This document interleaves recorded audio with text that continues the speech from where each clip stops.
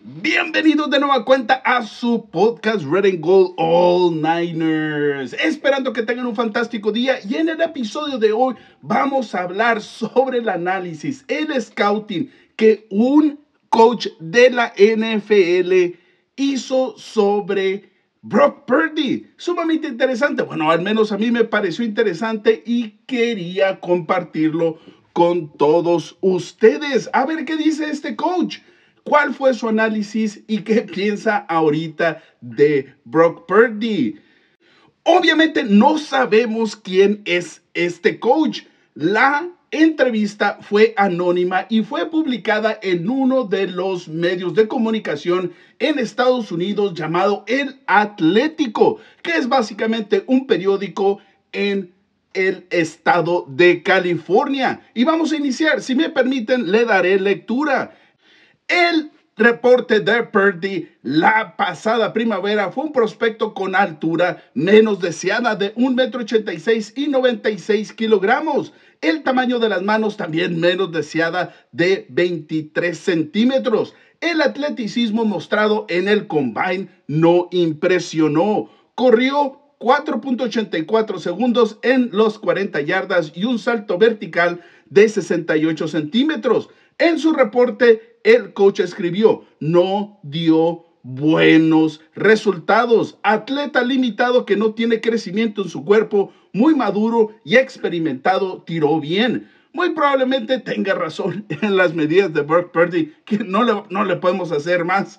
Sin embargo, llamar a Brock Purdy atleta limitado que no tiene crecimiento en su cuerpo, es decir, que no tiene expectativas de crecimiento físico. Y muy bien, en efecto, muy maduro, experimentado, absolutamente correcto. El coach en eso sí le dio en el clavo. Continuamos. El coach que escribió el reporte dijo el pasado lunes la cosa que más sobresalió durante el film de los colegiales y John Lynch lo mencionó un par de semanas atrás, es su atleticismo. No recuerdo que se haya movido así en Iowa State y tampoco tuvo buenos resultados. El salto vertical de 68.5 centímetros, que es terrible, corrió 4.84, tiene brazos cortos, bien cortos y manos pequeñas. Es un metro 86 y su brazo es ok. La movilidad no está presente. El shuttle corto estuvo ok. 4.45 segundos, pero no sobresaliente. Hablando del shuttle corto, es cuando ponen los conos en el... Y tiene que correr entre ellos. Bueno, claro. Creo que todos sabemos que es el Combine, el evento anual en el cual la NFL invita a los jugadores de los colegiales para saber sus atributos físicos. Y muchas veces en el combine es cuando los jugadores de los colegiales pueden ganar tracción y convertirse en una sensación y crecer en popularidad y subir en el draft. Posiblemente jugadores que tendrían una calificación, no sé, de una cuarta ronda. Inicialmente llegan al combine y pueden subir, pero también hay otros jugadores que pueden bajar. Así es que sumamente, sumamente importante, y, pero muchas veces irrelevante lo que pasa en el combine. Ahora bien, ¿cuáles son las fortalezas y debilidades de Brock Purdy? La fortaleza de Brock Purdy es que es muy experimentado con 48 partidos como titular en los colegiales y que maneja el juego muy bien, haciendo jugadas de rutina consistentemente. Es muy creativo al extender la jugada y trabaja muy bien la lectura de sus objetivos. Absolutamente concuerdo con lo que menciona el coach de la NFL. La debilidad, cortado, no es buen atleta, brazo limitado, tanto en fuerza como en repertorio de tiros. Y aquí, coach, creo que usted está completamente erróneo. Cuando él habla de cortado, so off, quiere decir que tiene piernas cortas, brazos cortos. Bueno, básicamente le dijo chaparro. Bueno, no buen atleta. Ha demostrado Brock Purdy que es muy buen atleta. De hecho, cuando Brock Purdy llegó a los 49 de San Francisco, los otros jugadores lo apodaron Baby Bosa. ¿Por qué? porque parecía a, baby, a, Nick Bosa. Increíble, sumamente atlético, brazo limitado. Bueno, sabíamos que de alguna forma tenía ese, ese brazo que no es tan fuerte como el de otros jugadores, pero es muy bueno. Ahora, continuamos. La evaluación de los corebacks colegiales siempre ha sido frustrante en la NFL.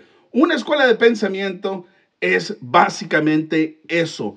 Si vas a evaluar un coreback, tiene que ser de cierta forma con ciertos límites sumamente específicos. El coach continúa diciendo, si vas a tomar un coreback en la primera ronda, tiene que ser élite en algo. Ese era el debate con Mac Jones, dijo el coach.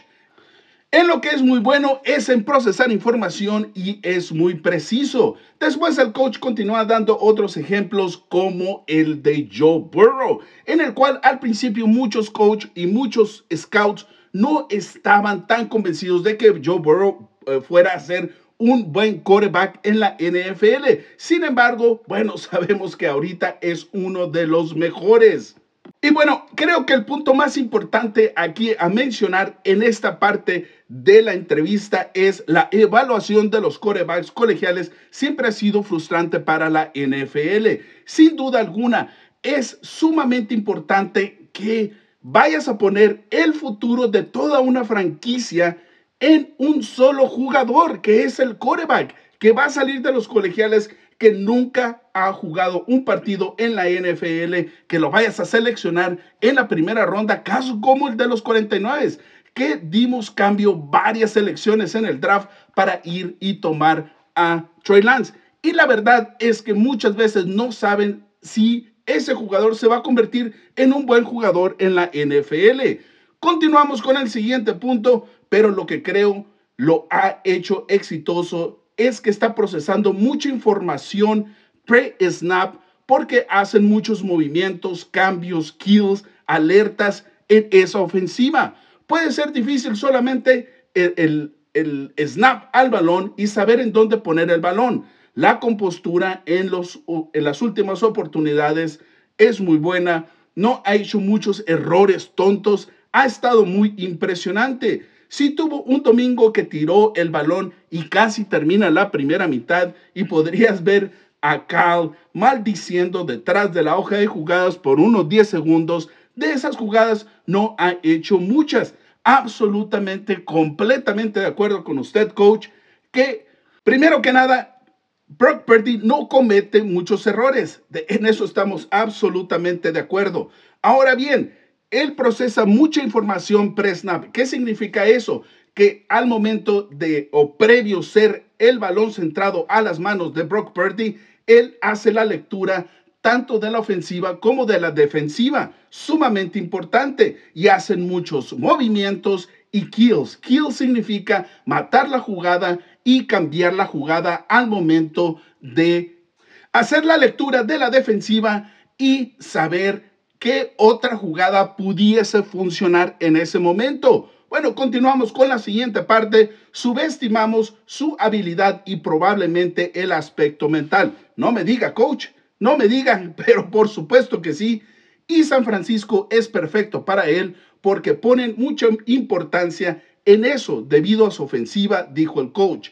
En San Francisco, él puede operar play action, boot, pantalla, manejar el juego y él no está jugando en un sistema como el de Buffalo en el que confían que George Allen se va a sentar en la bolsa y lanzar el balón a todo el campo. Y después él dice, Dios mío, ¿cómo haces esos pases o esos lanzamientos hablando de Josh Allen? Por supuesto, Kyle Shanahan necesita un coreback que procese muchísima información muy rápido es un sistema sumamente complejo el de los 49 a la ofensiva. Ahora bien, rápidamente, ¿qué son jugadas play action? Bueno, simple y sencillamente es cuando haces un engaño con el corredor que le vas a dar el balón. Eso significa que el coreback va a estar dándole la espalda a la defensiva por unos cuantos segundos, bueno, no segundos, momentos, instantes milésimas de segundos si le queremos llamar de alguna forma. Y no hay muchos corebacks que se sientan completamente cómodos con esa situación. El caso de Jimmy Garapolo. Eh, Jimmy Garapolo no se siente cómodo al momento de darle la espalda a la defensiva, muy probablemente porque no pueda procesar tanta información tan rápido y hacer la selección donde va a ir el pase. Bueno, espero que este video les haya gustado. Es algo completamente distinto que me llamó la atención. Lo quería compartir con ustedes. Y como siempre, no olviden de comentar y nos vemos en la próxima.